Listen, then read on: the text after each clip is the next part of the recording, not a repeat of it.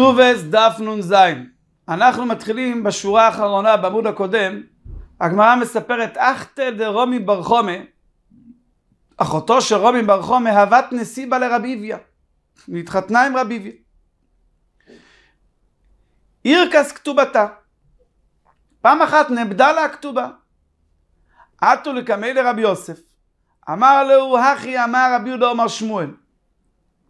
זו דברי רב מאיר מה, מה הכוונה? כמו שאנחנו ראינו במשנה שלדעתו של רב מאיר אישה לא יכולה למחול על הכתובה ואפילו כשהוא עושה תנאי התנאי בטל ואנחנו אומרים הוא חייב לכתובה אבל כיוון שהיא לא יודעת שהוא חייב לה אז היא לא רגועה ואומר רב מאיר אישה שלא רגועה אז הביאה שלו היא ביאת זנות אז גם פה האישה שאין לה שטר כתובה אפילו שחייבים לה כיוון שהיא לא רגועה זה זנות. אז הוא אומר זו דברי רב מאיר אבל חכמים אומרים משה אדם את אשתו שתיים ושלוש שנים בלא כתובה. כך אמר רבי יוסף. אמר לו אביי והוא אמר רב נחמן אמר שמואל הלכה כרב מאיר בגזרותיו. יש לנו כלל בדבר שרב מאיר מחמיר על התורה פוסקים כמוהו. אז אמר רבי יוסף יח איזי לכתוב לה. צריכים ללכת ולדאוג שתהיה לה כתובה חדשה. כי יוסר עבדימי אמר רב שמעון בן פזי אמר רבי שועה בן לוי משום בר כפורו מחלוקת. אנחנו בעצם למדנו שלוש דעות בברייתא. רב מאיר אמר שבכלל אי אפשר למחול. זה ביד זנות רבי יהודה אמר אפשר למחול באופן כזה שהיא כותבת לא התקבלתי אבל בעל פה אי אפשר למחול. למה? כי חכמים עשו חיזוק לדבריהם יותר משל תורה שההתחייבות היא רצינית ומחילה בעל פה לא מועילה. לעומת זה רבי יוסי אמר שהיא יכולה גם למחול בעל פה. רבי יוסי אמר רשאי או, אז אנחנו עכשיו דנים במחלוקת רבי יוסי שאומר היא יכולה למחול לבין רבי יהודה שאומר שהיא לא יכולה למחול אז מחלוקת בתחילה, אבל בסוף לדברי הכל אינה מוכלת. אחרי שכבר הוא התחייב לה, אז זה לא רציני. אם הוא עוד לא התחייב, אז אפשר להתווכח, רבי יוסי אומר מוכלת, רבי יהודה אומר לא מוכלת. אבל אם הוא כבר התחייב, עדיין אינה מוכלת. מה הכוונה תחילה, מה הכוונה סוף, כבר הגמרא תבהר. למעשה החופה יש לה תהליך ארוך. דבר ראשון חופה, אחרי זה נגמרת החופה, ואחר כך ביאה ויש סוף ביאה. רבי יוחנן אמר בין בזו בין בזו מחלוקת. כשאתה רואה את זה לכאורה, רבי יהושע בן לוי ורבי יוחנן חולקים. אמר רבא בואו לדידי מפרשל ימיני דרבי יוחנן. אני בעצמי שמעתי פירוש מרבי יוחנן, שרבי יוחנן עצמו אמר, דענה ורבי יהושע בן לוי לא פלגין אינה הדדי. אנחנו לא חולקים. מהי בתחילה דקאמר רבי יהושע בן לוי, שאז יש את המחלוקת בין רבי יוסי לרבי יהודה? תחילת חופה. ומאי סוף שהוא אמר שאז לכולי עלמא אינה מוכלת. כיוון שהוא כבר גמר ונתחייב, סוף ביאה. וכי כה אמינא ענו, כשאני רבי יוחנן אמרתי בין בזו בין בזו מחלוקת, התכוונתי לתחילת חופה וסוף חופה, שזה עדיין דהי תחילת ביאה. כל התהליך מתחילת החופה עד סוף הביאה, תהליך אחד ארוך. שהוא עוד לא גמר להתחייב. אז נחלקו רבי יוסי ורבי יהודה. אבל בסוף הביאה שהוא כבר התחייב, לכולי עלמא, גמרנו, כבר אינה מוכלת. זה עד כאן הגרסה של רב דימי. כי עתה רבינו אמר את כל השמועה הזאת בגרסה אחרת. מה הוא אמר? אמר רב שמעון בן פזי, אמר רבי שועה בן לוי, משום בר כפרו, מחלוקת לבסוף. אבל בתחילה, לפני שהתחיל כל התהליך, דברי הכל מוכלת. גם רבי יהודה מסכים שהיא יכולה למחול. ורבי יוחנן אמר בין בזו בין בזו מחלוקת. ואז לפי הגרסה הזאת אמר רבא בואו לדידי מפרשי לימיני דרבי יוחנן דענו ורבי שועה בן לוי לא פלגין אינה דודה. מהי לבסוף דאמר רבי שועה בן לוי? שאז יש מחלוקת, סוף חופה. ומה התחילה שהוא אמר שלכולי עלמא יכולה למחול? תחילת חופה. ריקה מיניה ענו בין בזו בין בזו מחלוקת, תחילת ביאה וסוף ביאה. זאת אומרת, לפי הגרסה של רבין, לפני הכל לכולה עלמא מוחלת. אבל מתחילת החופה אחר כך והלאה עד סוף הביאים, סוף הביאה, לכולה עלמא מחלוקת. יוצא לפי מה שפירשנו עכשיו, שיש מחלוקת בין רב דימי לרבין. כי רבין אמר שבתחילת חופה לכולה עלמא מוחלת, רב דימי לא הסכים, הוא אמר שפה יש מחלוקת אם היא מוחלת או לא. לעומת זה רב דימי אמר שבסוף ביאה לכולה עלמא אינה מוחלת. ורבין לא מסכים איתו. הוא אומר פה גם נחלקו. רבי יהודה ורבי יוסי. טוב. עכשיו, על שתי לישנס האלה בא רב פופה ומתייחס ואומר משהו. אומר רב פופה, אילאו דאמר רבבו לדידי מפרשי למני דרבי יוחנן. אם לא שרבבו בעצמו אמר, שמעתי מרבי יוחנן, דענו ורבי שועה בן לוי לא פלגינן הדדי, איך אני הייתי מעדיף לסדר את הסוגיה? עוד פעם, יש לנו כאן רבי יהודה ורבי יוסי התנאים שחולקים. יש לנו רבי יוחנן ורבי שועה בן לוי שבאו לפרש מתי הם חולקים. יש לנו רב דימי ורבין שהם באים להציג את הדיון בין רבי יהושע בן לוי לרבי יוחנן. אז אומר רב פופה, אני, אלמלא המידע שנתן לנו רב אבו, איך אני הייתי מפרש? אה ואמינא, רבי יוחנן ורבי יהושע בן לוי פליגי, הם כן מתווכחים ביניהם. מתי נחלקו רבי יוסי ורבי יהודה? אבל רב דימי ורבין, הייתי אומר שהם לא פליג. הייתי מסדר את זה. מה הייתי אומר? מה יסוף? זה כאמר רבין. שבסוף עדיין מחלוקת זה רק סוף חופה. אבל בסוף ביאה הוא מסכים עם רב דימי שלכולם מאינה מוכרת. ומה התחילה דקאמר רב דימי? שיש מחלוקת לתחילת ביאה, אבל תחילת חופה גם רב דימי יודע שלכול העלמה כן מוכרת. טוב, אבל כיוון שרבבו ציטט מפורש בשם רבי יוחנן, שהוא ורבי שועה בן לוי לא חולקים, אז אומר רב פופי, אני לא אומר את הפירוש שלי. נו, אז מה רב פופה בא ללמד אותנו כאן? סתם בא להגיד לנו הווה אמינות. מה קומה שמלן? עונה הגמרא בא להגיד לנו מסר חשוב מאוד. או קומה שמלן. דפליגת רע מורוי התמא דנפשיו, ולא פליגת רע מורוי עלי בדחד המורה. מאוד קשה לבוא, לכתחילה אנחנו לא אוהבים לומר, כמו שיש לנו כאן, שרב דימי ורבין מתווכחים ביניהם, מה התווכחו ביניהם האמוראים הקדומים, רבי יהושע בן לוי ורבי יוחנן. אנחנו לא אוהבים להגיד ככה. אנחנו מעדיפים להגיד שרבי שועה בן לוי ורבי יוחנן יש ביניהם מחלוקת, ולא בפרשנות מה המחלוקת ביניהם. ולמה זה? מה הנפקא מינה? אז רש"י מבאר שכששני המוראים חולקים, אז הם חולקים בסברה. ודברים שתלויים בסברה ובטעם, שני הצדדים יכולים להיות אמת. למה? רש"י אומר כי לפעמים שייך את הטעם הזה, ולפעמים שייך את הטעם הזה, שהטעם מתהפך לפי שינוי הדברים בשינוי מועט. אז שני המוראים קדומים יכולים לחלוק. אבל אם שתי המוראים מאוחרים חולקים מה חלקו המוראים הקודמים, אז פה אחד מהם בוודאי טועה. או שהם חלקו באופן הזה או באופן הזה. לכן לא נוח לנו לכתחילה להעמיד כזאת מחלוקת. אומרת המשנה נותנים לבתולה 12 חודש, בתולה שהתארסה. ועוד לא נישאת. נותנים לה 12 חודש משתבעה הבעל לפרנס את עצמה. ברגע שהבעל תובע אותה, אומר לה בואי נתארגן לחתונה, נותנים לה זמן 12 חודש לפרנסה. מה זה הפרנסה הזאת? תכשיטים. צריכה לתרגל בתכשיטים. וכשם שנותנים לאישה, כך נותנים לאיש את אותם 12 חודש, לפרנס את עצמו. מה הוא צריך להתארגן לחתונה? מה יש לו להתארגן? רק שאומר צורכי סעודה וחופה. ולאלמנה, שבעיקרון היא כבר מאורגנת, יש לה תכשיטים, 30 יום. הגיע הזמן של ה-12 חודש, ולא נישאו. הבעל מעכב, הוא לא רוצה להתחתן. אוכלות משלו ואוכלות בתרומה. אומרים לו, אתה צריך להתחיל לממן לה מזונות, ואם הוא כהן והיא ישראלית מהבית, היא יכולה גם להתחיל לאכול תרומה. למה עד עכשיו היא לא אכלה תרומה? נראה בגמרא. רב טרפון אומר נותנים לה הכל תרומה. היא אוכלת כך וכך לחם, למשל בחודש, הוא שולח לה כך וכך לחם, יכול לשלוח את זה מתרומה.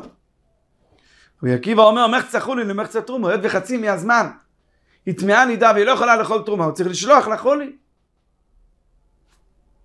היבם אינו מאכיל בתרומה. בת ישראל, שהייתה נשואה לכהן והוא מת בלי ילדים והיא נפלה לפני אחיו היבם הכהן, כל עוד שהוא לא ייבם היא לא אוכלת בתרומה. כמובן, אחרי שהוא ייבם היא כאשתו לכל דבר והיא אוכלת תרומה. הגמרא מפרטת את זה. עשתה שישה חודשים בפני הבעל, ואחר כך הבעל מת, והמתינה לנישואים, היא ממתינה עוד שישה חודשים בפני היבם. אפילו כולן בפני הבעל, חסר יום אחד בפני היבם. או כולן בפני היבם, חסר יום אחד בפני הבעל. ורש"י מוסיף, אפילו אם כל הימים כולם היו בפני הבעל, והבעל כבר התחייב למזונות, ועכשיו הוא מת, אינה אוכלת בתרומה. היבם לא יכול להכיל בתרומה. טוב, מה שאמרנו עכשיו, שכשהגיע הזמן, והבעל לא נשא אותה, הוא מתחיל להכיל אותה בתרומו, זו משנה ראשונה. אבל אחר כך חזרו בהם. בית דין של אחריהם אמרו, אין האישה אוכלת בתרומה, כמובן בת ישראל, שנישאת לכהן, עד שתיכנס לחופה. זה יבואר בגמרא, בדף הבא מה השתנה בין משנה ראשונה למשנה שנייה. דבר ראשון, מנוע נמילה שנותנים לזמן להתארגן שנה. אמר רב חיסדא דאמר קרא אצל לבן ובתואל, אה, לא לבן ובתואל, לבן, בן בתואל ואימא שלו. כתוב ויאמר אחיה ואימא. כאשר אליעזר בא לקחת את רבקה וקידש אותה, מה הם אומרים לו? תשב הנערה איתנו ימים או עשור. מה זה ימים? אילי מטרי יומה. אז מה, ככה רגילים לדבר? משתה אין איש אחי? זה לא תקין. מה הם אומרים לו? תשאיר אותה אצלנו יומיים. אם אתה לא מסכים יומיים, תשאיר אותה עשור. אמרו ליתרי יומי, אמר להו לא. אמרו לי עשרה יומי? ודאי זה לא יכול להיות. אלא מה ימים שנה?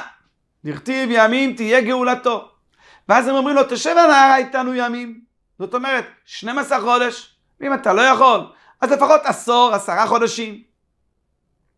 אומרת הגמרא, מי אמר והם ימים זה חודש? דכתיב עד חודש ימים. אמרי, דנים ימים סתם, ימים סתם. איפה שכתוב ימים תהיה גאולתו, לא כתוב ימים של מה. ואין דנים ימים סתם, ימים שנאמר בהם חודש. אז למדנו שממתינים 12 חודש. עומר רב זעיר תנא, כתוב בברייתא, קטנה שהגיע הזמן שהיא אמורה להתחתן, בין היא ובין אביה יכולים לעכב. הם יכולים להגיד, היא עוד לא בשלה, צריכים להמתין. בשלמי היא, מצי מעכבה. אנחנו מבינים, היא אומרת שהיא עוד לא נכונה לנישואין. אלא אביה, מה אכפת לו? היא, היא הניחה לה, אביה מה נפקא למינה? עונה הגמרא, לאבא יש שיקול דעת. סבר אשתא לא ידע, עכשיו היא לא מבינה מה המשמעות של נישואים. היא תלך תתחתן למחר ממרדה, תברח מבעלה ונפקא, ועטיה ונפלה אלוהי. לכן הבעל, האבא יכול לעכב. עומר רבה בבר לוי, אין פוסקין על הקטנה לעשייה כשהיא קטנה. לא מסכמים להשיא קטנה, אבל פוסקין על הקטנה על עשייה כשהיא גדולה. זה מותר. לסכם שהיא תתחתן כשהיא תהיה גדולה. ורש"י מדגיש ומוסיף, בלא קידושין, אבל לא מקדשים קטנה עד שתגדל. ותאמר בפלוני אני רוצה. טוב, פשיטה. מהו דתם מלך ושדיל ממאי לפחד המהשתא וחלשה? אם תסכם שהיא תתחתן כשהיא תגדל, גם כן זה יכניס בה פחד והיא תיכנס לחולי. כל מה שמענו שעד כדי כך לא חוששים. עומר אבונה בגרה יום אחד ונתקדשה, נותנים לה 30 יום כאלמנה. אבונה אומר חידוש. אנחנו אמרנו במשנה שנותנים לה 12 חודש להתארגן. אבל אם היא כבר בגרה, בטוח היא מאורגנת. והיא כבר הכינה על עצמה תכשיטים. ולכן ניתן לה רק 30 יום להתארגן כמו אלמנה. מיתווה. בגרה הרי היא כתבואה. מה הכוונה? מה אליו כתבואה דבתולה שנותנים לה 12 חודש? אנחנו נדחה ונענה לא כתבואה דאלמנה שיש לה 30 יום. תושמע, בוגרת ששהתה 12 חודש. רבי אליעזר אומר, הואיל ובעלה חייב עם זונותיה, אז הוא גם יפר לה את הנדרים לבד, בלי הבעל, בלי האבא. אז מה רואים? שבוגרת נותנים לה להמתין 12 חודש. יסביר רב הונא ויתקן ויגיד ככה, אם מבוגרת, או אחת כזאת ששהתה 12 חודש. אז רב לזר אומר, הואיל ובעלה חייב עם זונותיה יפר. תושמע, המארס את הבתולה, בין שתבעה הבעל, והיא מעכבת. בין שתבעה היא, ובעל מעכב, נותנים לה 12 חודש בשעת תביעה. אבל לא בשעת אירוסין. מסיימת הביתה ואומרת, ט"ו בגרא, הרי היא כתבואה. והברייתא מספרת כיצד. בגרה יום אחד ונתקדשה, נותנים לה 12 חודש, ולארוסה 30 יום. מפורש כתוב שלמרות שהיא בגרה, נותנים לה 12 חודש. טיובתא דרבו לטיובתא. ומה הפירוש? ולארוסה 30 יום? מה הכוונה? אמר הפופ אריקה אמר, בוגרת שעברו עליה 12 חודש בבגרות ונתקדשה. פה ודאי כמו הרעיון שאמר אבונה, נותנים לה 30 יום כאלמנה. זאת אומרת, אנחנו לא נקבל את הרעיון של רב הונא מיד כשהיא בגרה, אבל אחרי שכבר עבר עליה 12 חודשים בבגרות, פה ודאי היא ארגנה לעצמה תכשיטים ונותנים לה רק 30 יום. הגיע הזמן ולא ניסו. אז המשנה אמרה שאוכלות משלו. ולא רק זה, הן גם אוכלות תרומה. אז בואו נראה את הבסיס. אומרו לדבר תורה. ארוסה בת ישראל אוכלת מתרומה, כבר משעת הקידושין. שנאמר, וכהן כי יקנה נפש קניין כספו, והאינמה שהתקדשה לה, שהתקדשה לו, קניין כספו של הכהן הוא. אז מתם אמרו אינה אוכלת? שמא ימזגו לה כוס בבית אביה, ותשקה לאחיה ולאחותה. היות והיא גרה בבית אבא, והם כולם ישראלים, ייתנו לה איזה כוס יין של טרומו לשתות, והיא תיתן לשתות לאחים ולאחיות שלה. וזה איסור מיתה. שתאמר יחי, אז מה זהר שהגיע הזמן? הגיע הזמן ולא ניסו נמי. עונה הגמרא, כיוון שעד עכשיו הבעל לא היה חייב לתת לה מזונות. אבל מעכשיו שהבעל מתחיל לממן לה את המזונות, אז מקצים לה מקום מיוחד. אטם דוכתא מייחד לה. אומר לה, פה תאכלי לבד. אז אם כן, גם אין חשש שהיא תשקה לאחיה ולאחיותיה. אלא מעתה אומרת הגמרא, לקית כהן לישראל, לא לאכול בתרומה. איזה פועל כהן שבא לעבוד אצל ישראל. תמיד הפועל רוצה לרצות את בעל הבית. אז בוא נחשוש שהוא יכיל אותם בתרומה. דילמאתו למיכל בעדי. עונה הגמרא, לא, אין את החשש הזה, למה? אשתא מדידי ספולי, מדידו ספולי, הרי הם מממנים לו את האוכל. הבעלים הישראל. אז מה, בסוף מדידי אחלה, בסוף הם גם יאכלו משלו? לכן אין סיבה לגזור. עד כאן היה ההסבר של אולה. רב שמואל בר רב יהודה אמר הסבר אחר. מה הוא אמר? אמר משום סימפון. סימפון, הכוונה מום. מה הכוונה? הבעל הזה אירס אישה. מצא חן בעיניו. אבל אולי אחרי החופה, כשהוא תלך איתו הביתה, הוא ימצא פתאום שיש בה מומים. ואז יגיד, כל הקידושים היו קידושי טעות.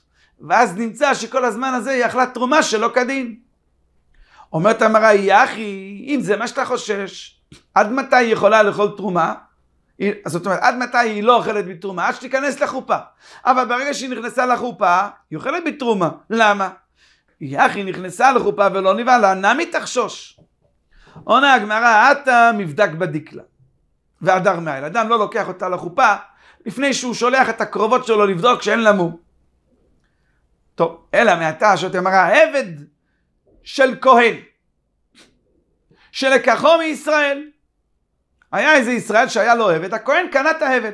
תגיד שלא, לא יכלו בתרומה משום סימפון, אולי מחר הוא ימצא בעבד הזה מום, הוא יבטל את העסקה.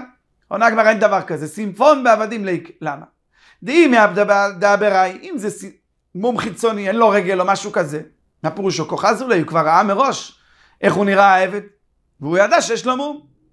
והיא דגבי, אם זה איזה מום פנימי, למלאכה כבאי, למה הוא צריך את העבד? למלאכה, לא אכפת לו שיש לו איזה כתמים על הגוף או משהו כזה, ושבסתר, לא אכפת לי. מה עוד תגיד? שהתברר שהעבד הזה נמצא גנב, או קוביוסטוס, קוביוסטוס זה גונב נפשות. על זה אנחנו אומרים הגיעו, זה לא ביטול מקח. למה? כי זה נורמלי, סתם עבדים הם גנבים. מה יקרה? מה יכול להיות? שהעבד הזה יתברר שהוא ליסטים מזוין, שזה כבר משהו קיצוני, או מוכתב למלכות, שהוא כבר חייב מיתה. אז זה לא מסתבר, לא צריך לחשוש לדבר כזה. למה? אנה הוא כל האיסלו.